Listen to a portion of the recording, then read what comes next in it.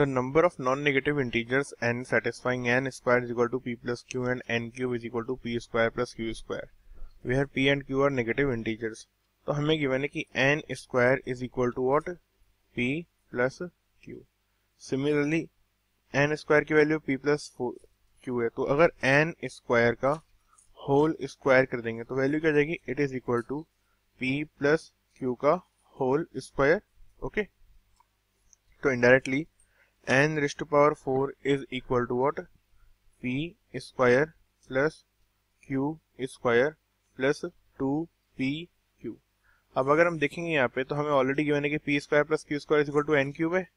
ये वैल्यू क्या जाएगी? Is equal to n cube plus 2pq okay now अब क्या करते हैं? यहाँ 2pq की टर्म है तो हमें कुछ कुछ लेट सी हिंट लगा। हमें एक इंपॉर्टेंट रिलेशन पता होता है कि arithmetic mean is always greater than और इक्वल टू ज्योमेट्रिक मीन तो हमारे पास मैं दो नंबर लेता हूँ, वो क्या होंगे? एक पी स्क्वायर और एक क्यू स्क्वायर ओके तो सिंपली इसका एरिथमेटिक मीन क्या जाएगा? P square plus q square by two is greater than और equal to p square into q square का पावर वन बाय टू तो सिंपली यहाँ से क्या जाएगा? P square plus q square is greater than और इक्वल टू टू टाइम्स क्या देगा only two times of p q तो इनडायरेक्टली मैं ऐसे क्या बोल सकता हूँ? कि जो हमारा n q plus two p q है, ये क्या हो जाएगा? N q plus two p q तो एन रिस्ट पावर फोर है यहाँ से। तो ये क्या हो जाएगा? N raised power four is equal to what क्या था हमारे पास में? N q plus two p q अब हमें पता है टू पी क्यू की वैल्यू क्या है? हमेशा p square plus q square से छोटी है।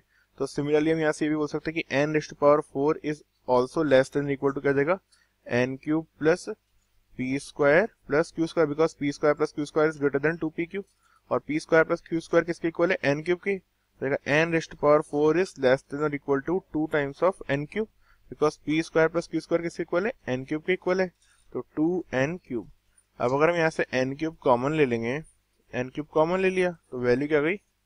यहाँ से n इज़ लेस देन और इक्वल टू टू तो if n is less than और इक्वल टू टू या फिर n is less than equal to two है ना?